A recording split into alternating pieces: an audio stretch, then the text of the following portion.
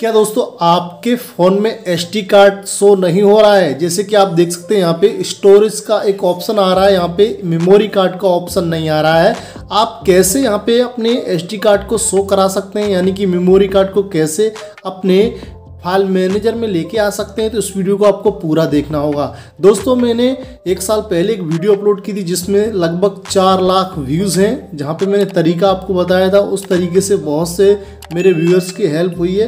तो मैंने सोचा आपके लिए एक अपडेट वीडियो लेके आई जाए, जिसमें बताया जाए आपको फिर से अपडेट होके कि आप किस तरीके से फ़ाइल मैनेजर में अपने एस कार्ड को शो करा सकते हैं। बस आपको एक सेटिंग करनी होगी इस वीडियो को पूरा देखना होगा, ठीक है? तो वीडियो को अभी से लाइक कर देना है, चैनल पे ना है तो चैनल को सब्सक्राइब करके ऑल नोटिफिकेशन को दबा देना है, क्योंकि जब भी मैं यहाँ पे इस तरह की वीडियो पब्लिश करूँ तो सबसे पहले उसका जो नोटिफिकेशन है आपके फ़ोन में चला जाए, ठीक है? तो चलिए चलते हैं, बताते हैं। सबसे पहले आप अपने फ़ाइल मैनेजर में आएँगे, आपके पास कोई भी स्मार्टफ़ोन हो, ठीक है? वहाँ पे आप फ़ाइल मैनेजर में आएँगे तो आप देखेंगे यहाँ पे आपका एसटी कार्ड शो नहीं कर रहा होगा, ठीक है?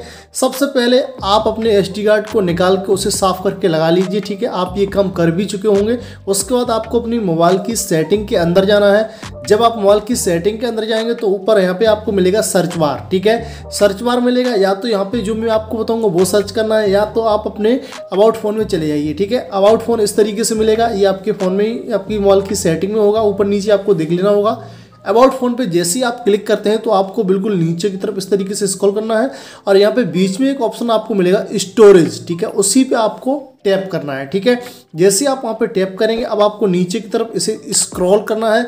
उसके बाद यहाँ पे आप देख सकते हैं, लिखा है माउंट एस कार्ड, ठीक है? यहाँ पे अगर ये ऑप्शन आपको नहीं मिल रहा है तो आपको क्या करना है? बैक लौटना है, अपनी सेटिंग का सर्च बार ऊपर जो होता है, उसे आपको वहाँ पर डालना है M O U N T ठीक है? माउंट, इस तरीके से डालेंगे और सर्च करेंगे, यहाँ पे शो हो जाएगा, ठीक है? अनमाउंट एस कार्ड, उसी पे आपको क्लिक करना है।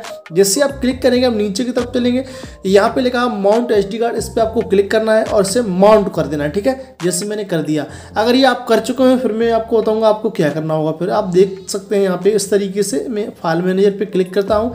अब यहाँ पे मैं जाऊँगा इस तरीके से तो आप देख सकते हैं ये यहाँ पे मेमोरी कार्ड यानी कि एस कार्ड शो हो गया है। अब दोस्तों, अगर आपका फिर भी शो नहीं हो रहा है बेसिकली आपका हो गया होगा। अगर फिर भी नहीं हो रहा है फिर आपको अपने मोबाइल को हार्ड रीसेट करना होगा, ठीक है? और एक कम और करना है, हार्ड रीसेट करने से पहले कम आपको करना है कि जो भी आपका मेमोरी कार्ड है, इस फ़ोन में नहीं चल रहा है, ठीक है? वो दूसरे फ़ोन में डाल के देखना है, अगर उस फ़ोन में काम कर रहा है तो आप अपने मोबाइल को हार्ड रीसेट कीजिए, ठीक है? तब वो काम करेगा।